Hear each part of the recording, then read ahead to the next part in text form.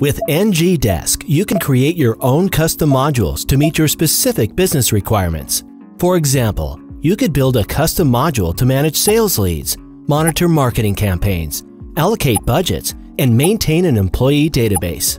In this video, we will walk through creating an employee module that can be used to manage and maintain employee-related information. There are five steps involved in setting up a custom module. Creating the module, creating custom fields, adding web create layouts, adding web edit layouts, and finally, creating list layouts.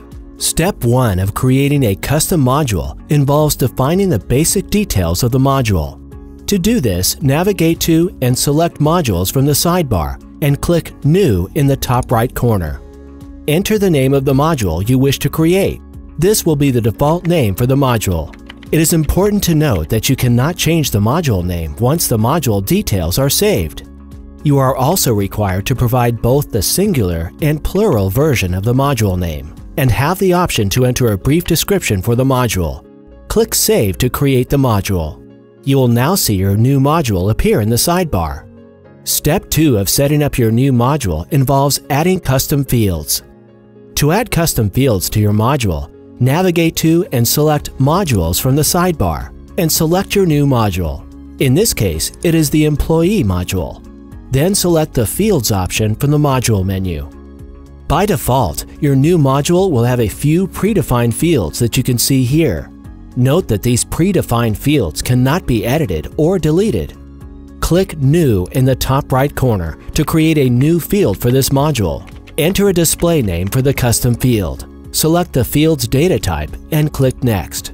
Then you have the option to enter any help text for the field, set a default value, Set a maximum number of characters for the field or make the field hidden or required.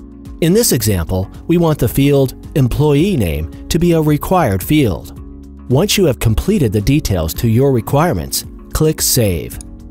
You can repeat this step to create all the custom fields as required for your module. Step 3 involves adding a Web Create layout, which will be the template for inputting new data records within the module. In the Layout section of your new module, select Web Create Layouts and then New in the top right corner. Enter a name and a relevant description for the new layout, and select a role to define the user group, which will be able to access this layout. Then, drag and drop the desired fields into the layout template.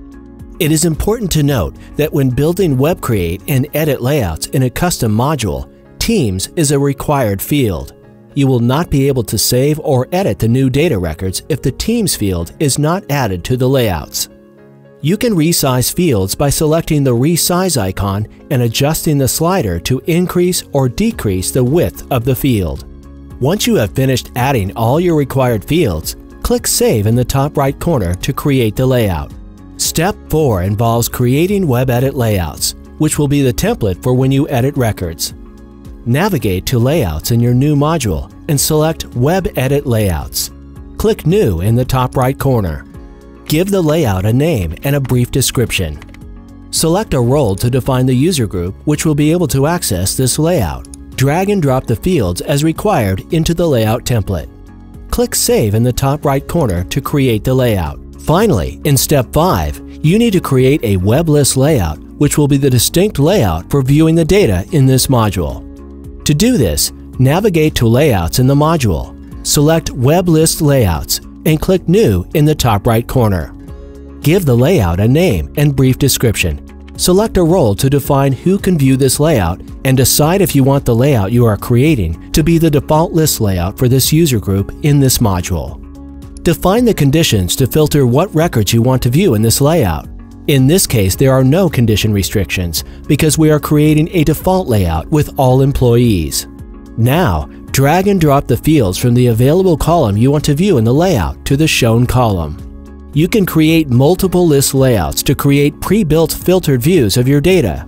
You can now begin adding new data records or edit existing ones. Define validation rules to ensure accuracy of data being entered. Set up triggers, SLAs, and workflows within the module.